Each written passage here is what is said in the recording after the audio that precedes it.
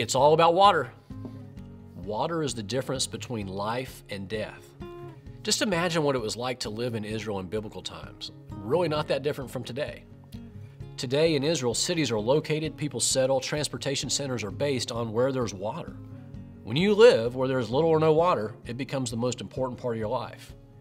And in a land where the soil is cracked and parched, possession of water is rare and valuable because water gives life. It's the difference between life and death. So it's no surprise that part of the Jewish festival of the booths focused on water. And that's the focus, the setting for the gospel reading today. So, in that Jewish festival, for seven days, each morning the priest would lead a procession from the temple to the fountain of Gihon on the southeastern side of, temp- of the Temple Hill.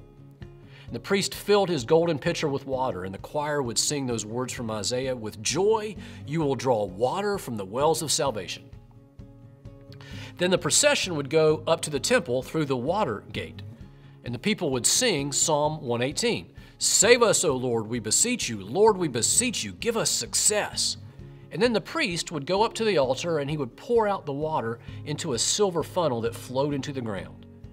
And on the seventh day, the climax of the festival of the booths, he would parade around the altar seven times, and that special moment came when he would pour that water out.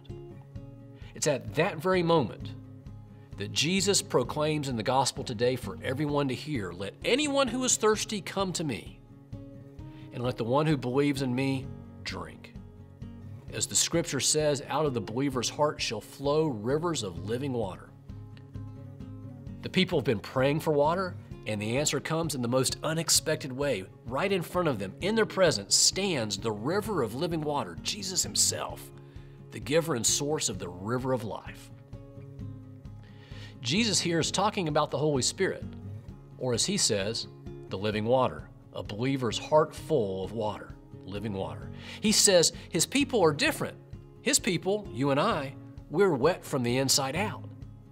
You have the Holy Spirit, and the Holy Spirit will feed your soul. Water is not only the difference between life and death, water brings awesome power. Think about dams, think about Hoover Dam and all the power generated from that water. In the same way, the power of the Holy Spirit will fuel your life, it'll drive your life. And the Spirit shows up in so many ways but He always brings power. The Holy Spirit springs up from inside you and gives you life and power from God Himself. The Holy Spirit will show up in your life in surprising and remarkable ways. Why? Because you're wet from the inside out. Alice, she went to work. She's a teacher. School full of teachers. She taught as she always did, and then for lunch she sat down at the table of teachers, and some of the teachers began to gossip maliciously about one of their own saying really unnecessary things. And the sense came over Alice, and she remembered the damage done in her own life by people who had dealt in rumors and innuendo. And so Alice mustered up every ounce of courage that she had within her, and she got up from the table and she said, I just can't participate in this conversation. You can call that what you want. You can call it a spirit of courage. I call it being wet from the inside out. Alice is full of living water. Or maybe it's like Daniel. I met Daniel when our team of about 30 people were on a mission trip to Costa Rica a few years ago.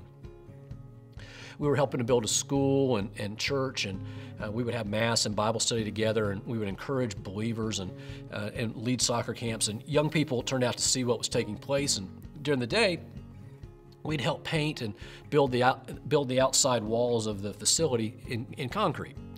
I had the very prestigious job of, of being the guy that would take the wheelbarrow from the little cement mixer and taking that wheelbarrow across full of cement to wherever it was needed, back and forth, back and forth all day long in the blazing sun. Each day I was met at the site, at the work site, by a fellow named Daniel. A man so hardy we nicknamed him El Toro, the bull. He was tireless. In the blazing sun, he never stopped carrying concrete, running wheelbarrows, building walls. By two o'clock each day, our team and I, we were exhausted. And so when I would go to the hotel or the motel for shower and, and, and, and rest and, and a leave at two o'clock in the afternoon, Daniel was just starting. He went to work. He went to a rice processing facility, which was his job, to carry 50 pound sacks of rice for another eight hours. That man worked circles around me, El Toro, the bull, and his face never deviated from an expression of pure joy.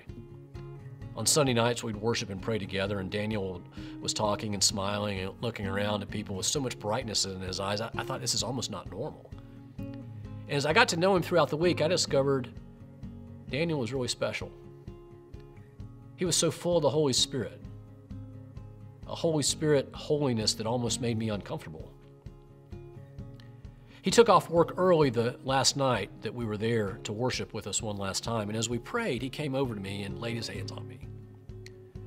And through a translator, he prayed for me. Through his hands, I could feel physically the flowing of the Holy Spirit, and he looked me in the eye and he said, as I boarded the bus for the last time, he said, Alan, always remember the poor. Here was a man who understood the Holy Spirit more deeply than I ever could possibly imagine.